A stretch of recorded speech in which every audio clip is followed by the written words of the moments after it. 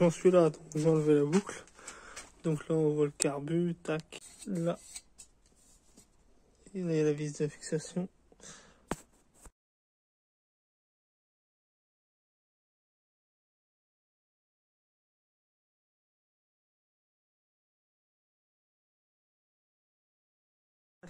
Donc il est sorti, mais vu qu'il y a un problème au niveau de la cuve, apparemment, on m'a envoyé des vidéos. Du coup, je vais défaire complètement.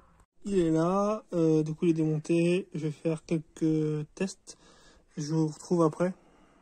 Euh, donc voilà, donc j'ai fait des tests. Donc euh, c'est bien ce qu'elle m'avait dit. En fait, soit la cuve elle se remplit pas du tout, soit ça arrête pas de se remplir. En fait, ça n'arrête jamais. Et puis en plus, euh, c'est un peu dégueulasse. Il y a un peu du vert de gris. Et du coup, c'est à ce niveau-là que ça fout la merde. Donc, la première chose à faire, c'est de démonter ça et d'essayer d'accéder au pointeux. Je vous voir après. Tac. Donc cette vis-là, ça va toujours. Tac.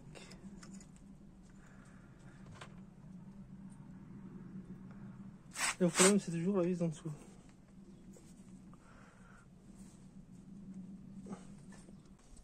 Celle-ci, je reviens quand j'ai réussi à la défaire. Bon, je l'ai bourriné un peu au burin. Et voilà. Déjà, quand on voit la crasse qu'il a dedans, je. J'essaie de vous faire. C'est pas arrivé. J'essaie de faire un focus. Je sais pas si vous voyez, tout là, là, c'est bourré de crasse. Bon, du coup, j'ai réussi à le démonter. Euh, bon, ça m'a pas trop abîmé. Bon, la vis, elle est. Enfin, la vis que je viens de défaire là. Du coup, elle est quand même bien abîmée, donc euh, je suis pas trop chaud pour la remonter. Après, il y a ça. Ça a l'air d'être correct au niveau usure. Je vois pas de. Tac. Là, ça a bien l'air de faire joint. L'intérieur, je vois pas de d'usure particulière. Là-dessus non plus. Mais je pense que par précaution, on va mettre un neuf. Du coup, comme vous le voyez, je l'ai remonté.